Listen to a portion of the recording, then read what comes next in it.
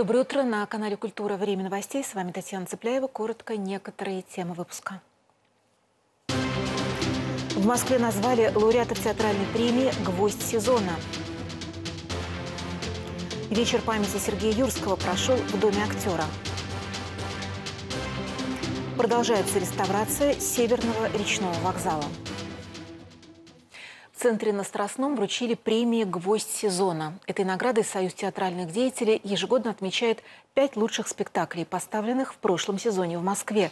На церемонии побывала Анна Аполлонова. Одно из последних театральных массовых мероприятий в эти дни. Почти подпольное. Здесь нет незнакомых людей, потому что на эту церемонию не попасть по билетам. Это мероприятие только для своих. Вручение неформальной премии в неформальной обстановке. Своего рода капустник с призами. Здрасте, нужно расписаться, да? Правильно? Обязательно, обязательно. У церемонии нет ведущего. За наградой лауреаты сами поднимаются на сцену. Их имена, кстати, давно известны. Пять театров, выпустивших по мнению жюри и Союза театральных деятелей, лучшие спектакли сезона.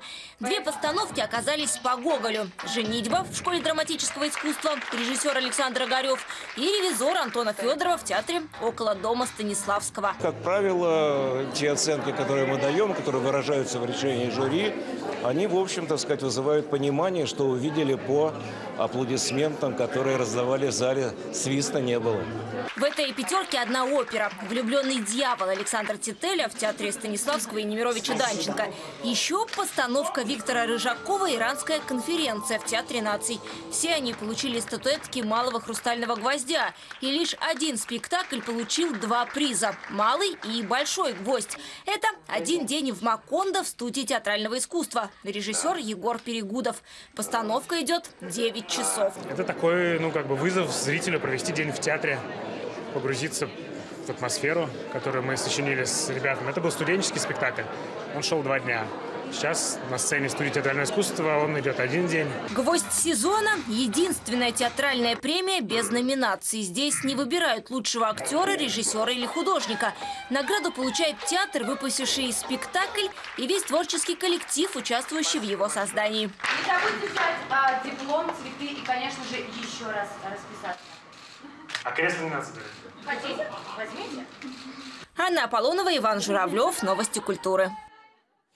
По последним данным, в России зарегистрировано 93 случая заболевания коронавирусом. Власти Москвы и Подмосковья до 10 апреля ввели запрет на проведение массовых мероприятий с числом участников более 50 человек.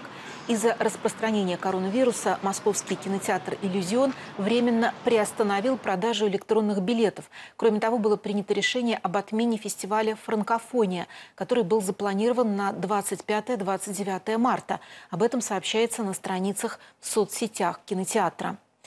Об отмене всех спектаклей сообщили Большой театр, МХТ имени Чехова, Театр наций, Вахтанговский театр, Таганка и Маяковка, Геликон опера, студия театрального искусства Сергея Женовача, Театр сатиры, Московский театр мюзикла. Исключения сделаны для некоторых премьер. Их можно будет увидеть в онлайн-трансляции. У нас слетела огромнейшая наша гастрольная программа зарубежная, и не только Корея и Китай, но и Прибалтика, и вообще сейчас под вопросом Лондон и Париж, куда мы должны тоже отправиться еще раз э, в мае месяце. Будем надеяться на лучшее. Музей древнерусской культуры и искусства имени Андрея Рублева поздравили с 80-летием Геннадия Попова, заместителя директора музея по научной работе. На торжествах побывал Антон Николаев. Вот такой скромный букет. Поздравить с 80-летием Геннадия Попова, который более 20 лет руководил музеем Андрея Рублева, пришли сотрудники и коллеги из других музеев. Геннадий Ильич, я, э, мы вас все, вы знаете, искренне любим, а, действительно глубоко уважаем. А, нам э, очень приятно с вами работать. Сфера научных интересов Геннадия Попова, Андрей Рублев, Московская и Тверская школа иконописи, а также книжная миниатюра.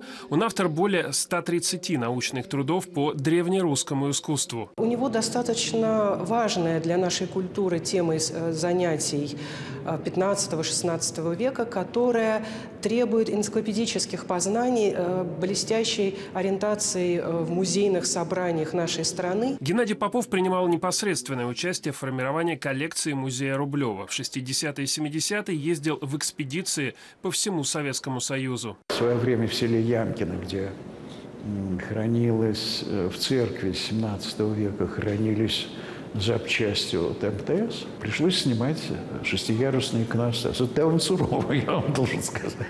Потому что пока ты лезешь на первом, втором, третьем ярусе, ничего. А дальше вот ближе к шестому уже некоторые, ну не то, что дрожь в коленках, но просто все равно это достаточно серьезная вещь. По оценкам Геннадия Попова, в общей сложности 62 по начало 70-х из храмов было вывезено и таким образом сохранено около 3000 икон. Конечно, вся эта деятельность носила еще тогда, в период антирели...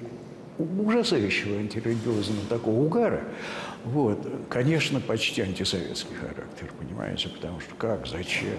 Это всегда каждый раз в райисполкомах поднимался этот вопрос. И какая-нибудь там секретарша с четырьмя классами образования долго объясняла нам, что мы занимаемся не тем делом. Вот, а надо просто пойти на посевную. Сегодня Геннадий Попов продолжает работать. Он занимается научными исследованиями, подготовкой и организацией выставок в музее, которому отдал столько лет жизни.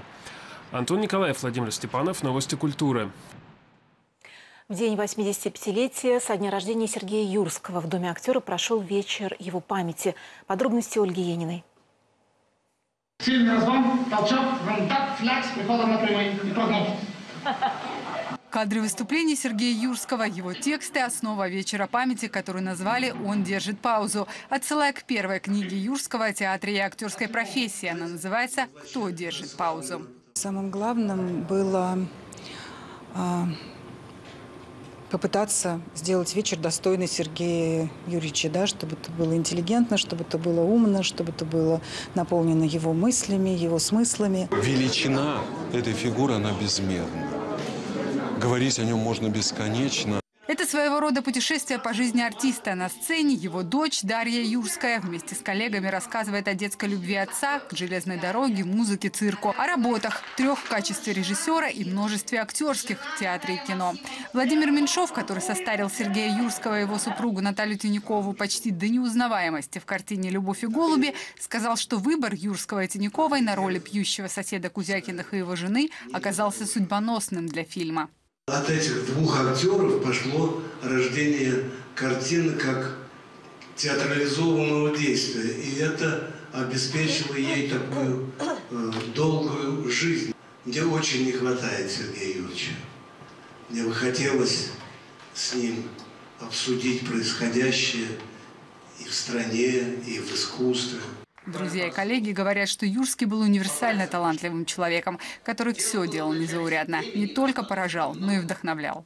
Знаете, как говорила Цветаева, творению предпочитаю творца. Вот он входил в мир автора, становился им и потом играл. Когда я приехал в Москву в 79 году, нам, а, нам дали задание выучить произведение Пушкина, любое, самостоятельно, «Вечер Пушкина». А я накануне попал на концерт Сергея Юрьевича, где он читал графа Нулина. Я был в таком возбуждении, в таком потрясении, что я выучил наизусть графа Нулина. И все это под впечатлением от Сергея Юрьевича. У меня вся жизнь связана с Юрским. Вся жизнь. Я такой поклонник с 14-15 лет, я бы так сказал. Отрывки из спектаклей, где играл Юрский, не стали показывать намеренно. Организаторы говорят, эти постановки нужно смотреть целиком. Вечер памяти завершили его строками о том, что все к настоящему только прелюдия. Настоящее будет потом. Ольга Енина, Александр Шиповал. Новости культуры. Реставрация Северного речного вокзала в Москве близится к завершению. Уже в апреле должны заработать обновленные причалы.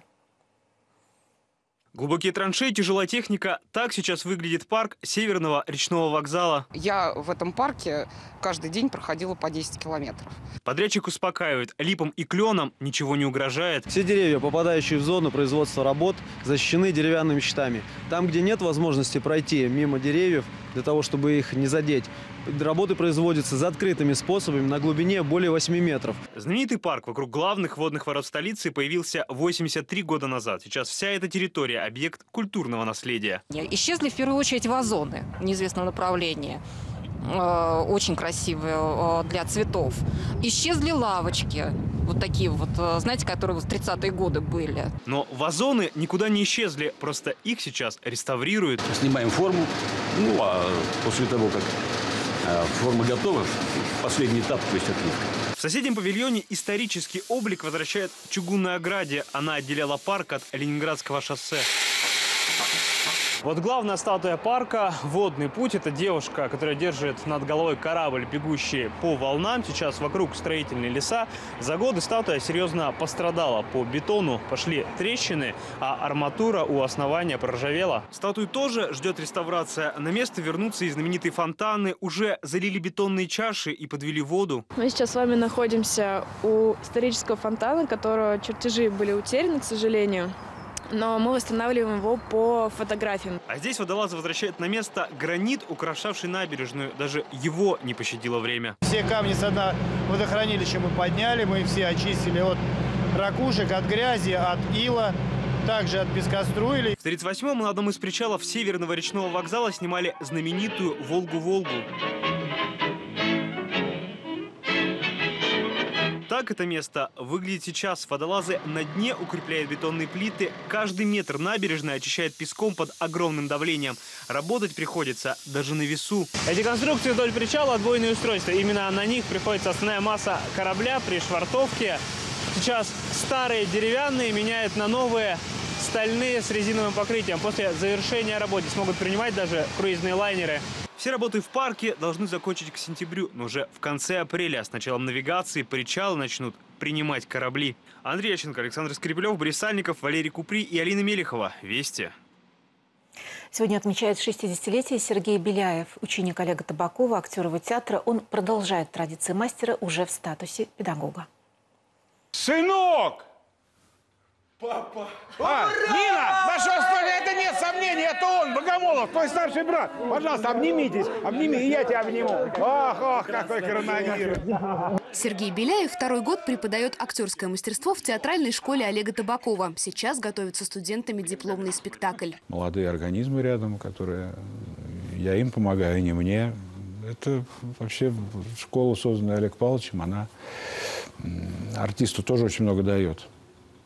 То есть, когда с ними немножечко позанимаешься, ты потом почему-то лучше играешь на сцене. Подозрительная вещь такая.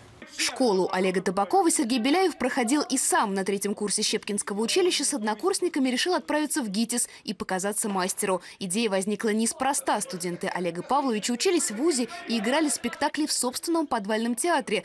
Так Беляев и его однокурсники вскоре стали первой труппой табакерки. Вот это очень важно, никому не помешать еще. Играй как хочешь, но остальным не мешай. Главное, чтобы был спектакль. А что ты играешь, ну, я имею в виду роль большая, маленькая, это уже не важно. Но играть надо всегда хорошо. Володя, я все понял. Из этого дома надо уходить, уходить, пока тебя отсюда не вынесли. Все, Володя, а, я все решил, я все решил. Мы с тобой едем куда? Чернигов! Спектакль «Старший сын» по комедии Александра Вампилова Сергей Беляев играет не только со студентами. Постановка войдет и в репертуар табакерки. На роль Андрея Сарафанова согласился не сразу. Я всегда боюсь, есть какие-то вещи, которые уже сыграны. Я почему-то думал, что роль Сарафанова уже сыграна, именно Евгением Павловичем Леоновым.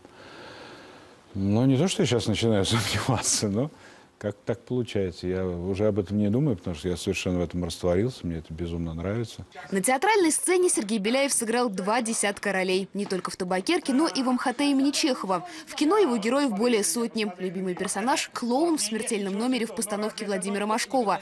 Лучший подарок в юбилейный год также сделал режиссер Машков, говорит Сергей Беляев. Роль генерала Маккензи в спектакле «Десять негритят». Премьера в июне. Отпраздновать день рождения на сцене, как планировал артист, в этом году не получится. Спектакль «Ревизор» отменен из-за карантина. Однако даже незапланированное уничтожение реквизита может превратиться в праздник, а именинным может быть не только торт, но и селедка под шубой. С наступающим тебя, Сергей Васильевич.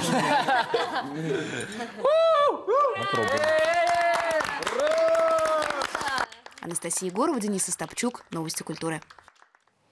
После выпуска новостей программа «Наблюдатель». Тема встречи «Малый театр по-итальянски». Сегодня в гостях у ведущего Андрея Максимова театральный режиссер, актер Стефано де Лука, народный артист России Василий Бочкарев, народный артист России Евгения Глушенко, а также Сергей Потапов, актер театра и кино.